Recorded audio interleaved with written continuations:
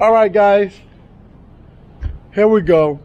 So, you know, I just want to recap my whole trip to Peru.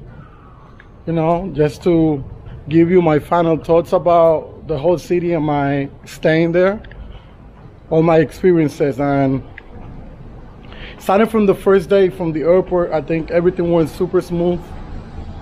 No problems at all. Just keep, remember, don't forget, um, there's free internet at the airport. So if you need to call your Uber or your InDrive, you could do it from there. And then when it comes to the weather, amazing weather. When it comes to the infrastructure, really, really good. I was actually surprised of how good it was. I mean, not because I heard anything, but you know, I wasn't expecting to be so like that. I think, you know, the street were good, the street was safe, buildings were fine too. I was staying was amazing. Really, really cool. So I can't even complain about that. Especially, especially where I was staying. The first spot was crazy on the 15th floor. Then the last spot was incredible. Two super modern apartment. You know, world class. Actually, that's one of the best. That's one of the best Airbnb I have stayed in my life, and I've been to many. So that was definitely a good look. Um, and then when it comes to food,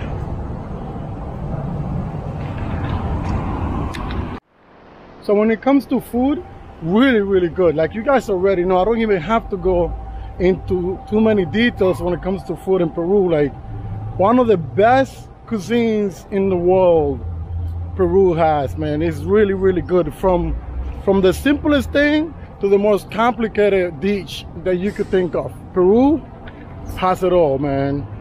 Seafood, amazing. Woo!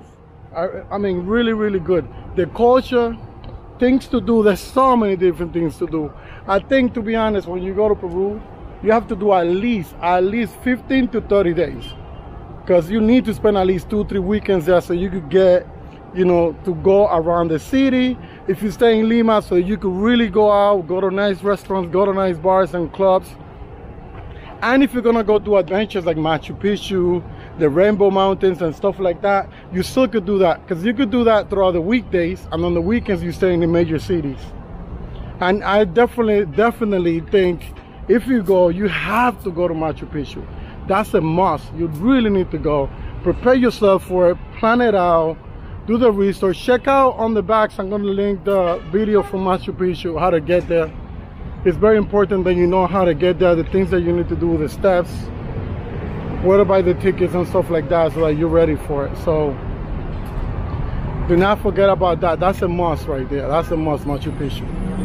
But all in all amazing city amazing country Lima was the perfect night out off the hook beautiful women everywhere to be honest me being raised in New York like going to high school and college in New York, I never seen Peruvian chicks looking like the way they look in Peru. Like I seen them all short and quiet to themselves in the corner.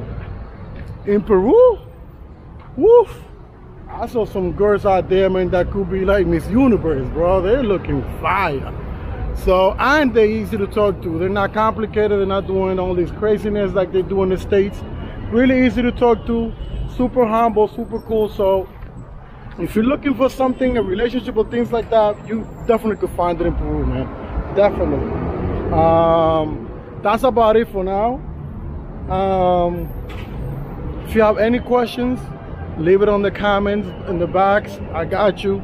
Remember, they said I'm gonna leave you the link for the um, Lima um, travel guide so that you could actually, you know, get some of your questions answered there. I put a whole bunch of restaurants, bars, clubs that you could definitely check out in Lima. Also, if there's anything that you like from the stuff that I was wearing, all the fashion I'll be rocking, I'm gonna leave a link also of the Amazon storefront where you could buy all that stuff super, super cheap. Um, and that's about it, man. Just leave a question. Do not forget to subscribe. It's your boy, Ray Harper.